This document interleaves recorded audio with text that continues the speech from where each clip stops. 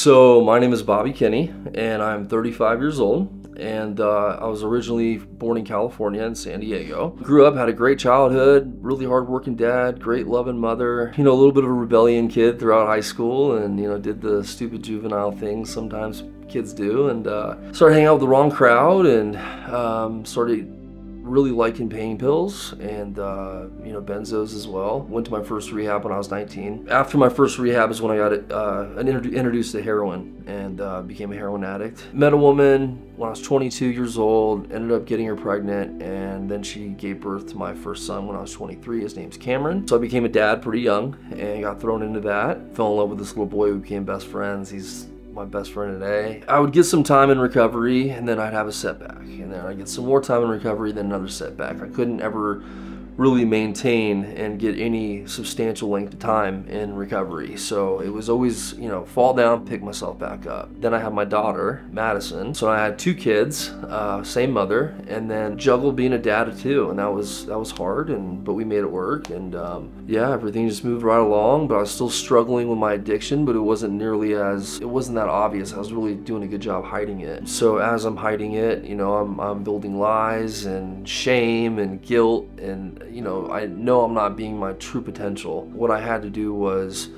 figure out a way where I can, you know, become the best version of myself. You know, sought out doctors and, and treatment and they try to help me and I really just couldn't, it, it's like it didn't click. I wanted it so bad to click, but it just didn't. My father, he got diagnosed with COPD and became terminally ill. He had asked me and my kids to move in and be a stay-at-home caregiver uh, for him and my mom. As I moved in with my parents, I get a phone call from my best friend since seventh grade's sister uh, she was like a little sister to me. Her name was Laura, and she called me and said that her brother James is no longer with us, and he had overdosed and passed away.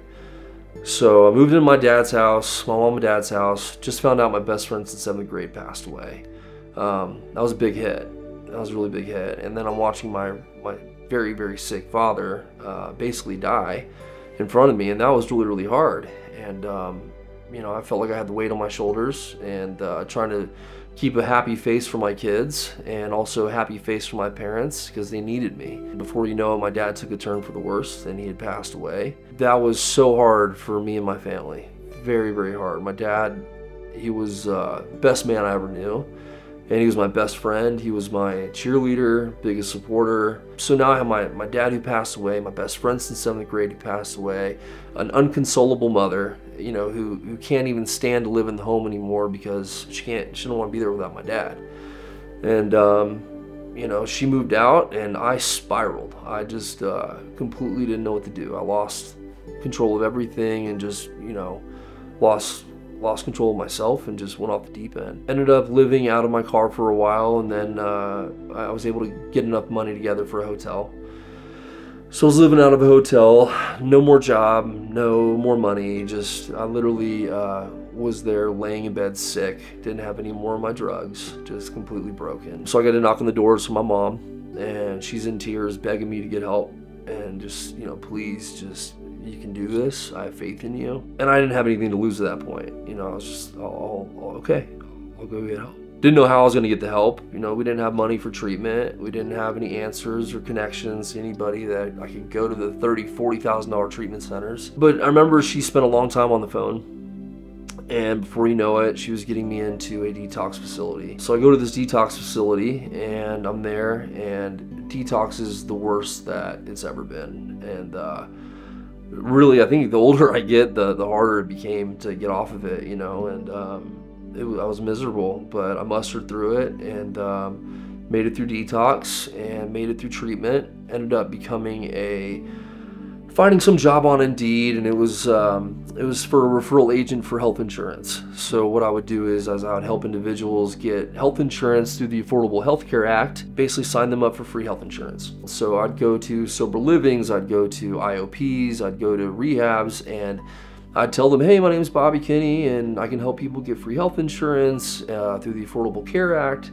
And they'd say, oh, you, you do what Nadine does at Hope Dealers. And I'm like, who, who's Nadine? What is Hope Dealers? I've never heard of them before. And it happened about four or five more times. And it got to the point where the last time it happened, I'm just like, look, do you know who Nadine is? Like, can I get a hold of her? Do you have her number? Where can I find her? I was like, yeah, I have her, her number right here. And he gave me her number. And I called her and I, you know, spent about 20 minutes on the phone with her, telling her a little about a little bit about who I am and uh, what I do. And she said, great, come in, we'll meet. And so I came in here to The Rock and uh, she interviewed me and hired me right on the spot. At first, I got hired on to do the health insurance and help people, you know, get signed up. And then it became into a peer support outreach manager.